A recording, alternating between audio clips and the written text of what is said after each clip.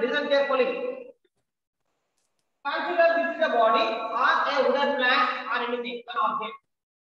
Every body has one center point. That center point we call it as center of gravity of that particular object. Here is the center. Example, that is the center of that one. Center is denoted by the letter O. Object center. Now, see how many forces are acting on the body. That is the question.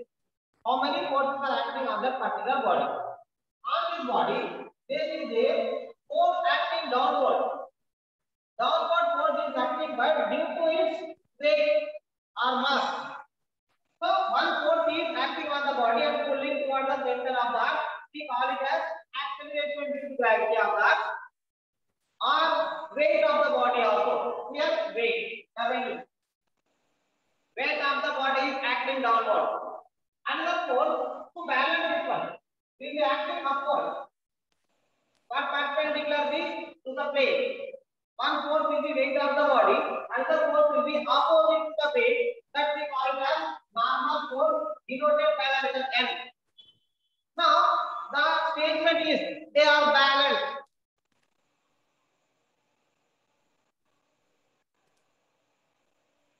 Yes, they are balanced. Balance means what? They are equal but opposite in direction. Balance means these two are equal in magnitude but opposite in direction. That is the meaning here. That means weight of the body is equal to normal force.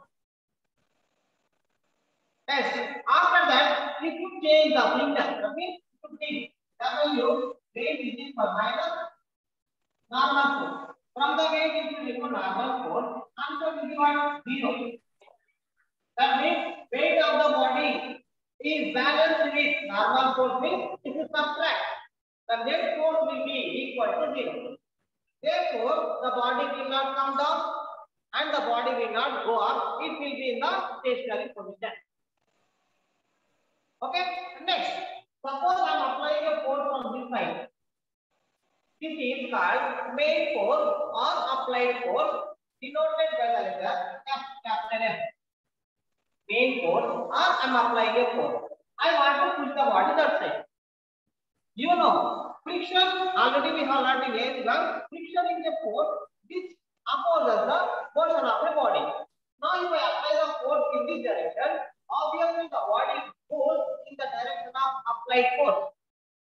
That means the body is moving from this point to that point. Therefore, what happens? Another force comes into action. That means that will be in opposite direction. We call it as frictional force denoted by the letter F, small f. That means lowercase alphabet F. Now, these two are balanced. Means when we say that these two are balanced, means they are also must be equal in magnitude and opposite in direction. Means main force or applied force must be equal to frictional force. Then we call them as they are balanced. These two forces are equal in magnitude. Now, what happens? Main force, applied force minus frictional force is equal to this. That means the net force, applied force minus frictional force, answer is zero. Therefore, the body will not go that side, the body will not go left side. Therefore, it will be at rest. Now, how many forces are acting on the body? How many forces are acting? One, two, three, four. Four forces are acting on the body. The sum of, that means the sum of all the forces acting on the body is zero. These are the sum of R. W minus M is zero. F minus F. That means main force minus frictional force is also zero. Therefore, the net force acting on the body is zero. Therefore, the body is said to be rest. The body is said to be rest. Here, the definition is If the net force acting on a body is zero, then the body is said to be at rest. If the net force acting on the body or the net force on the body is not equal to zero, then the body is said to be motion. Yes, first one is the definition we call on in the chapter one, that is motion, and this is the definition here. The definition is very simple. If the net force acting on the body is zero, then the body is said to be at rest. If the net force acting on the body is not equal to zero, then the body is said to be in motion. When a body changes its position, means if the balance force, means the net force on the body is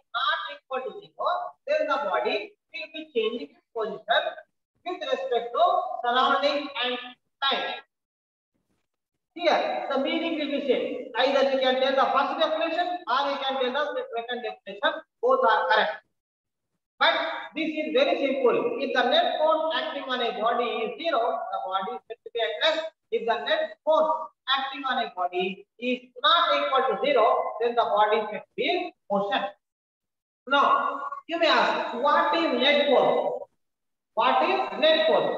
The algebraic sum of the forces. The algebraic sum of the forces acting on a body the algebraic sum of the forces acting on a body is called net force.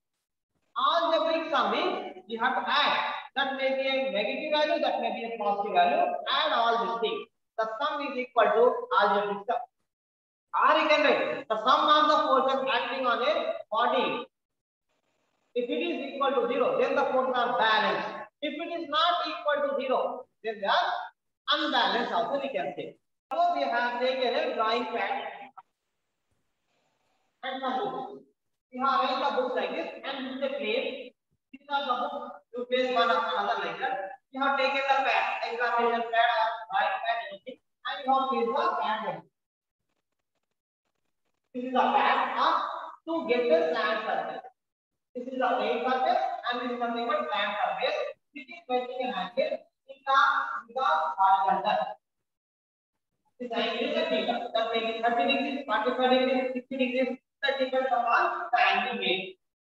So I am taking a marble. You know, marble is nothing but is the shape of a sphere. I am taking a marble and placing the marble here in the middle of the sand. I am placing the marble and removing the finger. Then what happens? What happens? Yes, very good. The marble comes down.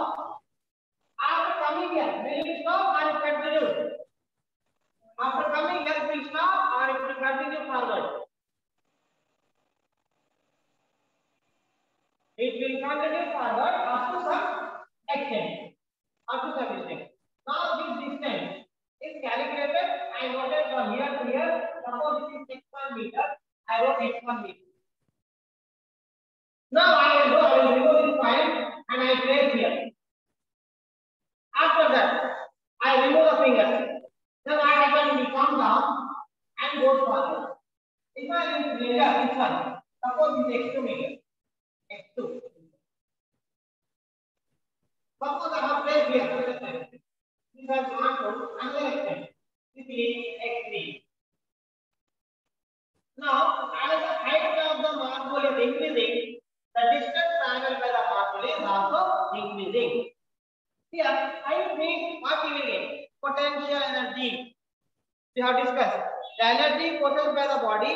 The virtue of its state of rest is called potential energy.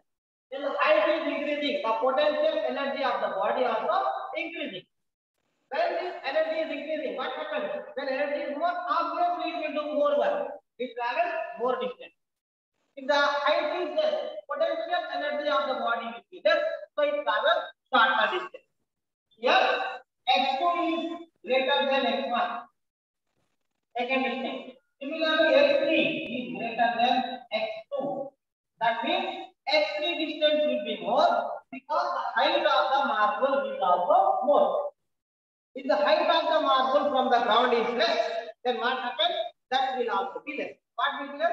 The distance traveled by the body will be less compared to the body traveling in the first and second case. This also increase. Here, we are taking the same and examination map it same. Theta. We are not changing. Suppose I have placed at the top of the surface. First time I have taken the marble, I have placed the marble at top and left my finger and left it freely. You know, the marble comes down only after coming down, it has traveled certain distance. Where the distance is x1 meter. This is the first case. Now I have calculated as x1 meter. First case. Now again, I take some sand. I will take some sand and sprinkle the sand on the surface here. Here, I am sprinkling the sand in order to increase the roughness. Again, I take the marble, I take the marble again here, again I use. Then tell me, will it travel more distance or it will travel less distance? Now everybody is answering distance traveled by the body on the rough surface is less than the distance traveled by the body on the plane surface. Provided that if it is left free from a same height, then tell me what is the factor affecting here? The factor is roughness of the surface. That means if the surface is rough, the distance traveled will be less. Why? Because the frictional force will be more there. That means the opposing force to the main force is more than that of in the plane surface. Therefore, the distance traveled by the body on the left plane surface, that means in the left resistive surface on the plane surface is greater than the distance traveled by the body on the roughness. That means roughness is a factor roughness is directly proportional to distance traveled with. That means frictional force depend upon the roughness. If the roughness is more, frictional force will be less. That means we can say inversely proportional. If roughness of the surface increases, frictional force also increases. Directly or indirectly. Roughness increases means frictional force also increases. Is it a direct proportion or indirect proportion or inverse proportion?